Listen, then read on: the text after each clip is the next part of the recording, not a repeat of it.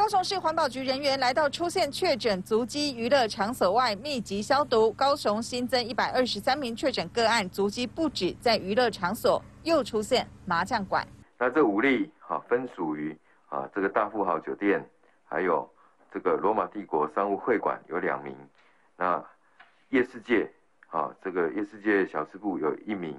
还有哈一家麻将馆。比起双北确诊个案快速增加，陈其迈秀出医疗能量图，有议员担心双北只有重点疫调，会不会影响高雄的防疫工作？都已经啊做过很多的这个这个推演，是要把它压下来。压下来当然有疫调，有公共卫生的手段，或者是有隔离。等等的一个措施，表明沙盘推演医疗能量早就准备好。随着确诊接触居隔人数增加，家有不同学龄孩子的黄小姐，丈夫遭到台南市府通知和确诊者接触，随即开始居隔。一居隔就没和高雄家人同住。重视防疫的黄小姐分别询问两个女儿学校是否需要请假，得到的答案是高中还可到校，国中要求预防性请假。标准不一，是他的防疫策略，即使有时候我觉得他有点严格。然后我就说，爸爸不是同住家人，他不是跟我们住吗？他只是居隔的时候搬出去。他说居隔搬出去就不是同住家人。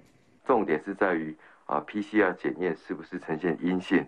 那如果说啊，今天检验是呈现阴性，显示这个风险在检验在裁剪的那个时间点往前是不存在的，这个就连自主健自主健康管理都可以不需要。